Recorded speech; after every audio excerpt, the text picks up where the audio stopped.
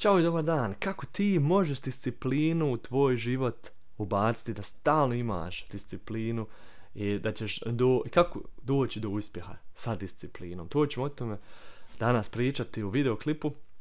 Vidiš, meni govore ljudi često, Mateo, tako si discipliniran, ja to ne bi mogao, tamo vamo, vodiš dvije firme, imaš obitelj, imaš ovo, imaš ono, radiš ovo, radi i opet si nekako sretan i opet si nekako opšten. ja kažem, to nije slučaj. Jednostavno to nije slučaj, nego je to jedna odluka. I zato sam opšten, većinom, ja nisam stalno, ali većinom 90% dana imam osmijeh i imam op, opšten sam i jednostavno je lagan život. I ako ima dosta stvari što se dešavaju i dosta stvari sa radnicima i tamo vamo, opet je lagan život. Ali to je jedna odluka. I disciplina je jedna velika komponenta u tom svemu. Ali ta disciplina je lagana. Vidiš, primjer jedan, kad ti pereš svoje zube, jutros, navečer, je li to tebi stres? Jel svaki put misliš, oj, sad opet zube, prati to.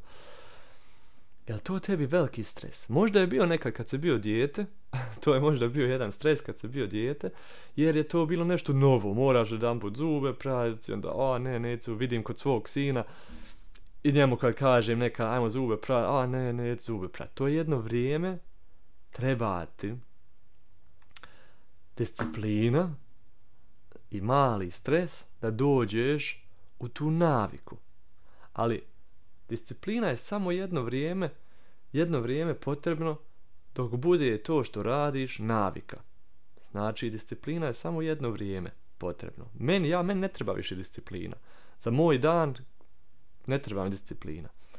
I malo ću o tome još više pričati u drugim videoklipovima ako vas zanima kako ja živim, ja kako, kako imam sretniji život kad sam od kad sam navike različite u svoj život integrisu, ako hoću da o tome pričam, mogu, mogu uh, pričati o tome.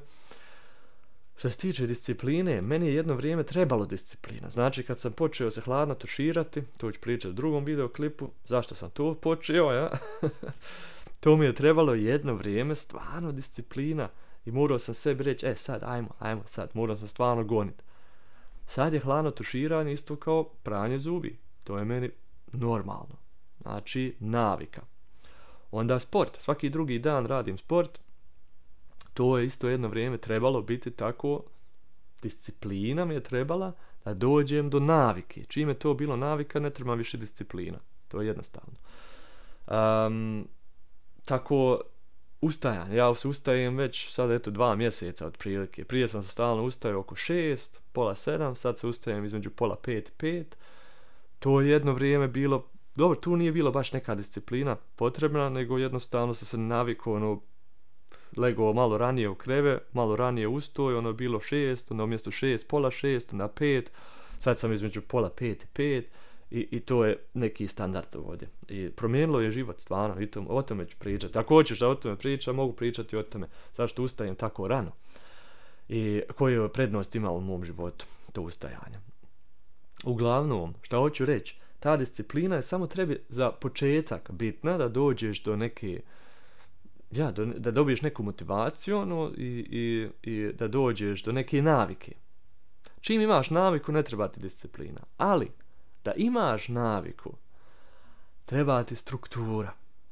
Jer naviku dobiti ovako to će biti teško. Ako, ako je tvoj dan stalno drugačiji, izgleda jedan dan ovako, jedan dan onako, teško će ti biti sa nekom navikom. Nego ako hoćeš naviku neku integrisati u svoj život, onda ti treba jednostavno struktura.